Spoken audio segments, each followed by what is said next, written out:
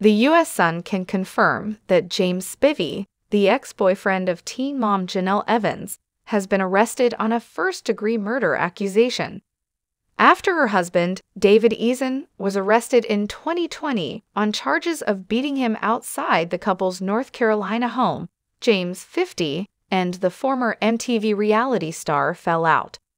The U.S. Sun can now reveal that James Riley Spivey is facing serious legal issues following his alleged shooting and death of Cody Allen Gales, a 30 year old man.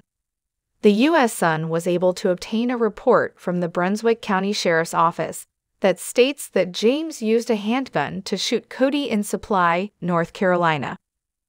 The event happened on December 8, 2023, at 8:49 p.m., 40 minutes to Wilmington southeast. According to the report, James unlawfully, willfully, and feloniously did of malice aforethought kill and murder Cody Gales. For this, he was charged with first degree murder. James is still being held while the death investigation is still being conducted. His court date was set for December 11 at 2 o'clock p.m. local time.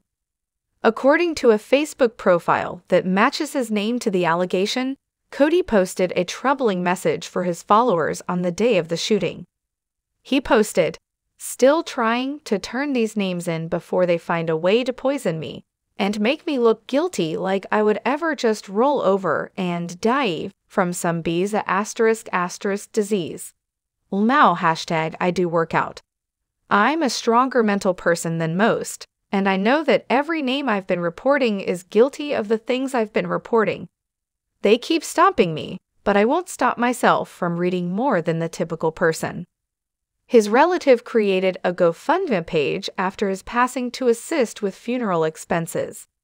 On Friday night, my cousin Cody Gales got shot and died. Unfortunately, the family doesn't have insurance to bury him. Brittany Bellamy wrote on the website. We would be grateful for any donations. James Spivey and Jenelle Evans, 31, were close friends until an alleged incident that occurred three years ago. According to earlier reports from the U.S. Sun, David was taken into custody in North Carolina on June 12, 2020, on suspicion of assault with a deadly weapon and making threats. After a week of arguments with her husband, Jenelle allegedly brought two acquaintances, James, and his then partner Joshua Galloway, to the family home to get her belongings. After fighting, David did assault James with a deadly weapon, a Springfield handgun, by hitting James Spivey in the back of the neck and on his back with the handgun, according to the arrest warrant that the U.S. Sun was able to get. The warrant states that David threatened to blow James F. asterisk asterisk King brains out.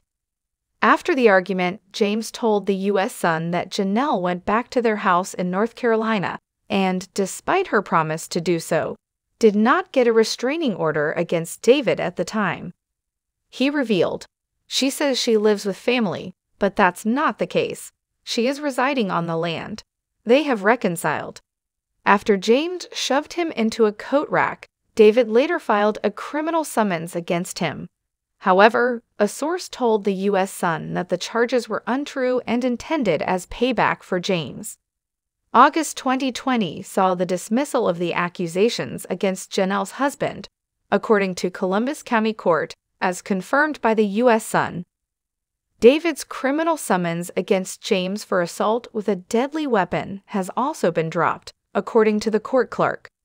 In the end, Jenelle decided to support her husband which caused the friends to become estranged. I wish them the best, whatever that may be, James said at the time to the U.S. Sun. We are done with them as far as my partner and I are concerned.